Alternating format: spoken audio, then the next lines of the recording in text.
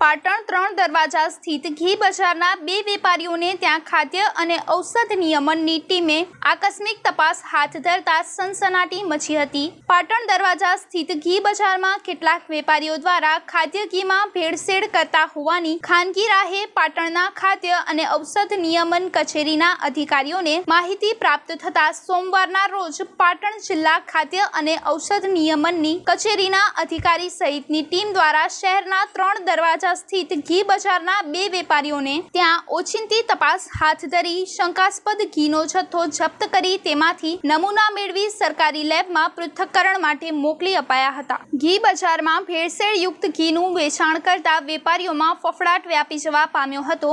આ બાબતે પાટણ જિલ્લા ખાદ્ય અને ઔષધ નિયમન કચેરીના અધિકારી વિપુલભાઈ ચૌધરીએ વધુ માહિતી આપતા જણાવ્યું. પાટણ શહેરના ત્રણ દરવાજા સ્થિત ઘી બજારમાં કેટલાક ઘીના વેપારીઓ દ્વારા ખાદ્ય ઘીમાં મોટા પાયે ભેળસેળ કરી લોકોના આરોગ્યને નુકસાન કરી રહ્યા છે. આ બાતમીના આધારે સોમવારના રોજ પાટણ શહેરના ત્રણ દરવાજા સ્થિત ઘી બજારમાં પાટણ જિલ્લા ખાદ્ય અને ઔષધ નિયમનની કચેરી દ્વારા ઈશ્વરલાલ રસિકલાલ ઘીવાળાની બે અલગ અલગ દુકાન પરથી એકસો નવ્વાણું ડબ્બા ઘી અંદાજિત કિંમત રૂપિયા પાંચ પોઈન્ટ એકોતેર લાખ અને અલ્પેશ કુમાર વિનોદચંદ્ર મોદીની દુકાન પરથી ઘી ડબ્બા નંગ વીસ અંદાજિત કિંમત રૂપિયા એક પોઈન્ટ વીસ લાખનો જથ્થો સીઝ કરવામાં આવ્યો હતો. કેમેરામેન હાર્દિક સોલંકી સાથે રિપોર્ટર ઉપેશ પંચાલ, મા ન્યૂઝ લાઈવ પાટણ, ગુજરાત.